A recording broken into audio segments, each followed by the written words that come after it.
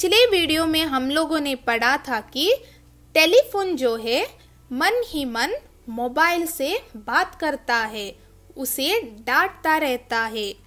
तो ये सब सुनकर मोबाइल वहाँ प्यार से टेलीफोन से बात करता है। तो आइए जानते हैं टेलीफोन इसका क्या उत्तर देता है। तो टेलीफोन बोलता है कि, गुस्सा ना करूँ तो क्या करूँ? पता है? जब से तुम आए हो, हमारी कोई नहीं पूछता। सब तुम्हें अपनी छाती से लगाए घूमते रहते हैं। हर समय तुम्हें अपने पास रखते हैं। एक क्षण के लिए भी तुम्हें जुदा नहीं करते। तुमसे इतना लगाव हो गया है लोगों को। तो मोबाइल इसका जवाब देता है कि, टेलीफोन भैया, ये तो बताओ इसमें हमारी क्या गलती है?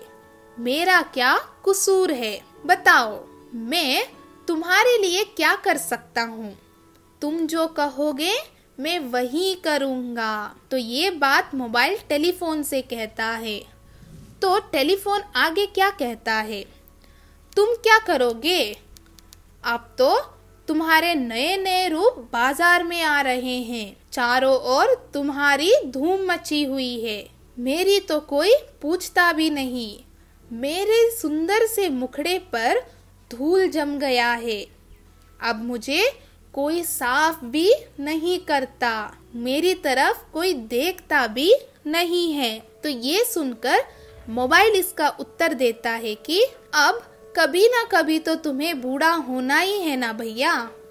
सदियों से तुम्हारा ही राज था। इसमें गुस्सा होने की क्या बात है? एक ना एक दिन तो यहाँ होना ही था। तो ये बात मोबाइल टेलीफोन से कहता है। तो टेलीफोन इसका क्या उत्तर देता है? अपना आवाज़ सुने मुझे महीने बीत गए हैं। पहले तो ये घर की मालकिन क्या करती थी? मुझे हर वक्त साफ़ रखती थी।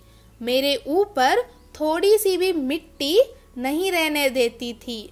और मुझे अपने कान में लगाए गुनगुनाती रहती थी। उसकी मधुर आवाज़ और मीठी आवाज़ सुने बिना मुझे अच्छा नहीं लग रहा है। बहुत महीने हो गए ये सब सुनकर। तो यहाँ पे टेलीफोन बहुत उदास हो जाता है। तो इसके बाद मोबाइल इसका क्या जवाब देता है, जानते हैं हम नेक्स्ट वीडियो में।